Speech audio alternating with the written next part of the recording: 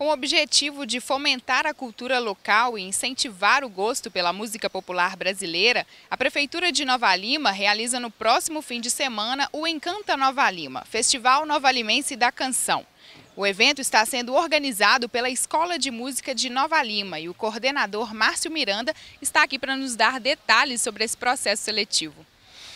Foram 53 canções inscritas e todas elas com um altíssimo grau de qualidade, o que dificultou em muito a seleção das 20 canções eh, que vão para a semifinal.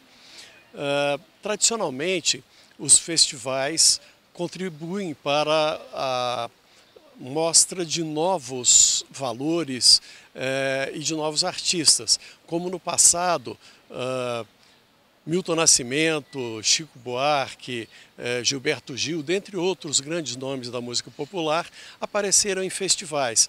E o Festival Nova Limense é uma oportunidade para que o músico de Nova Lima mostre seu trabalho e consolide a sua arte.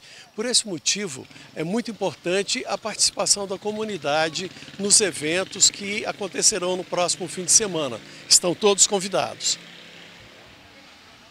As apresentações vão acontecer aqui na Praça Bernardino de Lima nos dias 15, 16 e 17 de novembro, a partir das 8 da noite.